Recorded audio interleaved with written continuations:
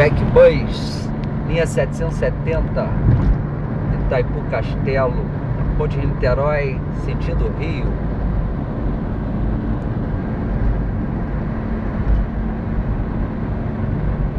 Traseira completa.